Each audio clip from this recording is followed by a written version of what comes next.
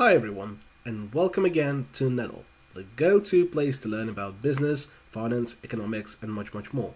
Please don't forget to subscribe to our channel and click that bell notification button below so that you never miss fresh videos and tutorials you might be interested in.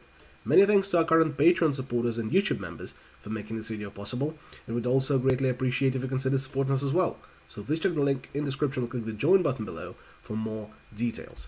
My name is Savva, and today we're investigating a key concept in option trading. That is, how to target your payoffs and returns for a speculative option trading strategy, and how to choose one out of many feasible alternatives for options trading. And we'll investigate it based on one of the simpler option spreads or option portfolios that are the bullish call spreads, which involve longing and at the money call option and shorting an out of the money call option to provide some cash for the initial downside, as well as capping your payoff at the upper end of your share price forecast. And the example for today would be IBM, and we'll trade options for a six week period from 28th of February 2022 until the 14th of April expiry and the center price, the price of the underlying as of the start date, is $124.18. And here are the bid and ask prices for call options at various strikes that are available to us at this particular date. And we will investigate how to do uh, return targeting and we'll also investigate how margining for short options affects target return calculations and our initial investment. So first of all, we have to come up with a target price. That is the price we believe the IBM stock is going to be traded at as of 14th of April. And the target price is a key component of directional strategies, which bullish call spreads um, undoubtedly are. And let's say that we believe that IBM is going to be traded at $128 per share. So a reasonably bullish outlook, meaning that bullish call spreads are uh, theoretically feasible for such a strategy to be profitable. And here we have to investigate our at the money long call, and at the money strike would be 125. That is the uh, closest available strike to the center price. So it would be 125 strike, and as it's a long call, we'll need to buy it at the ask for our trading strategy simulation to be robust. So the premium is going to be $4 per share. And we'll consider four possible uh, out of the money calls to construct our bullish call spread at 130, 135, 140, and finally 145. And as these would be the short options to finalize our spreads, we will sell them at bids. So at 1.75, 0.7, 0.25 and 0.12 dollars per share respectively. And we have to simulate a range of uh, underlying prices. And here we can apply it using the sequence function. And let's go from $100 per share to $150 per share simulating a wide enough but believable range. And let's go uh, 50 cents at a time meaning that we will need 101 rows from 100 to 150 half um, a dollar per step plus the initial step, isn't it? We'll just need one column. We'll start at 100 and we'll move 0.5 dollars at a time. That constructs the correct range of underlying prices we would like to consider. And now we can construct the payoffs for our long and short call options. So for the long call, we need to pay the premium, so negative premium here, and we'll lock the row as the premium doesn't change no matter what the price of the underlying is. And then we need to add the gross payoff of the call option, meaning the maximum of zero if we do not exercise our call, and the difference between the underlying price and the strike price if we do. As the call option is the opportunity to buy at the strike, so we would exercise it if the price of the underlying is higher than the strike, so we can buy the strike, sell uh, at the spot market, and uh, capitalize on the difference. That would be our gross profit. So we'll subtract from the underlying price here and we'll lock the column as this does not uh, change no matter what option we consider. And then we subtract the strike where we have to lock the row as the strike changes option to option but does not change simulation to simulation. That correctly calculates the payoff of the long call, which we can apply throughout our payoff structure.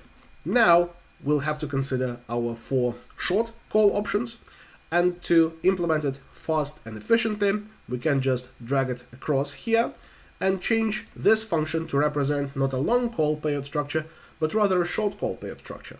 To do that, we have to simply change this minus into a plus, as we are receiving the premium for a short call option, not paying it, and change this plus into a minus, as we are not capitalizing on the gross payoff of the call option if we short it, but rather it is our gross loss if the counterparty of ours executes the call option at our expense. That allows us to efficiently calculate the net payoff structure for all four short call options that we can consider for our bullish call spread. And finally, we can construct the payoff structures of all five potential strategies. The first strategy is just a naked long call, where we do not combine it with any short call at all. To finalize the spread, we just go for the simple strategy, so we just refer to this payoff. For the bullish call spread at 130, we combine this short call payoff structure with the original long call, and to implement it faster, we can lock the column here as the long call is the same for all four potential bullish call spreads. So here we can drag it across and we can enforce these functions all the way down. And here we can see how the uh, chart over here represents payoff structures of five competing strategies. We can see that uh, if we uh, cap our payoff quite soon at a quite low uh, comparatively strike, for example, for a bullish call spread at 130, we cap our payoff very early, so we're not uh, benefiting from further upside if the IBM share price goes beyond 130. However, as the bid price for the 130 uh, call is uh, comparatively large, we do receive uh, quite a bit of cash to provide for the uh, quite high price of the long call that we purchased. And this is the trade-off that we have to consider. How um, fast do we want to cap our payoff at? So comparing our foregone upside here to the benefit that we receive from the proceeds of our short call. And the uh, dynamics here are twofold. First of all, the payoff changes, the payoff per share does vary depending on what we choose. And second, the return of our strategy can change all the more so as shorting a call option can allow us to gain more exposure as we are not fully investing our capital into the long option but we gain some cash from shorting the options as well. So we effectively are leveraging our strategy so returns can be higher. And let's visualize it here. So first of all, for our target price of 128, we can go uh, here to the bottom and refer to our target price of 128 in this instance. And then we can copy this full row over here to represent net payoffs per share of each and every of the strategies at 128. So further, what we need to do is we need to calculate the net premium for each and every of these strategies. For the simple long call, it is just $4 per share. That's our investment amount. And the target return is obviously the net payoff of the strategy per share divided by net investment amount per share, which gives us a target return of negative 25%, meaning that going for a long call um, at the strike price of 125 if our forecast is 128 is not feasible really. Uh, what happens if we investigate the spreads where we combine a long call with a short call? Well, first of all, we still do invest $4 per share into the long call premium and that can be locked column wise. And then we subtract the premium that we receive by short selling or writing the call option out of the money. So our net investment amount is lower, which can boost our returns if we design our spread correctly. However, most of the time, uh, writing options is associated with margining requirements, as exchanges are worried that uh, a shorting counterparty for the option might strategically or honestly default on their obligations to uh, provide for the exercise of the option uh, by the counterparty they've written it to. So what happens is that part of the premium that we received uh, needs to be deposited to the margin account with the exchange. And that means we have to add to our net investment amount the uh, short option premium times the margin level or the margin percentage. Here we haven't filled it in yet, so uh, assume it to be zero for now. And this can be locked because margin requirements are generally quite universal across exchanges. They are uh, most of the time specified as percentages of uh, what you receive from uh, shorting an asset, and in this case, shorting an option. So we see that for this particular specification, our net investment amounts are smaller for our spreads that involve short call options.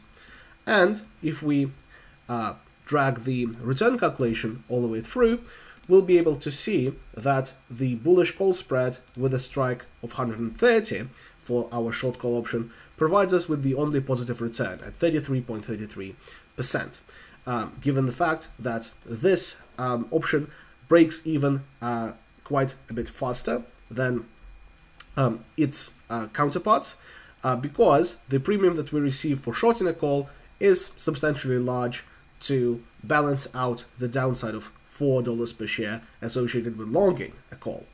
However, if we increase the margin, for example, to 50%, the returns would go down simply because here the investment amount would increase as we need to deposit part of the proceeds from the short call within our margin account, effectively increasing our net investment amount.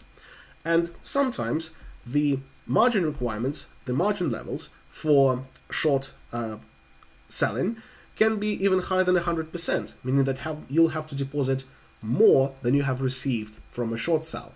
And uh, most of the time, uh, such levels are equal to 150%, especially in the US. And you can see how that brings the returns of this particular bullish call spread even further down. Now we can also see how the change in the target price affects the optimality of uh, particular strategies. So if we are a little bit more bullish than 128 target price, so for example, if our target is now 130, we can see that all of our uh, bullish strategies become profitable now with positive target returns. Uh, and the bullish call spread with a strike of 130 remains the most profitable though.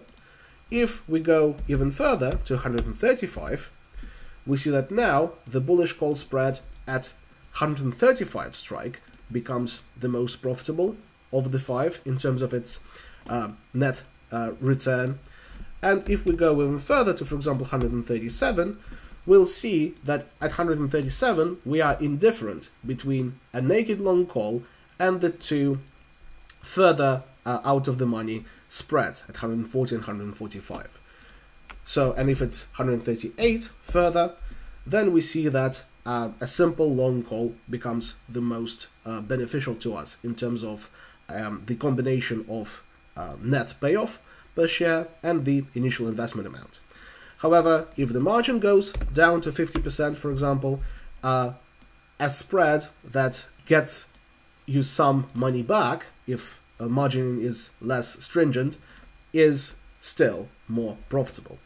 And this illustration provides you with a lot of insight into what um, shapes the profitability or optimality of competing uh, option strategies and option spreads. The choice of the strike uh, for the short call to uh, combine with your initial long call option uh, can be uh, shaped both by the pricing of the options. If the premium here are larger, these strategies are more attractive as they provide you with more cash, boosting your returns and allowing you to break even faster. Also, these strikes can correspond to your target price forecast. It's not a coincidence that if margins are relatively low, the target price of 138 um, involves the bullish call spread with the short call strike, that is, the price at which your upside is capped, being the most attractive. And what you also need to consider are margin requirements that can be put in place for short options trading. The higher they are, the less favorable uh, option strategies that involve shorting the options are in terms of returns. And that's all there is for return targeting with bullish call spreads, taking into account uh, different options that are available to you and different margin requirements that might be put in place by your exchange. Please leave a like on this video if you found it helpful. In the comments below, I'm eager to see any further suggestions for videos in business, finance, or economics you would like me to record. And don't forget to subscribe to our channel and consider supporting us on Patreon. Thank you very much, and stay tuned.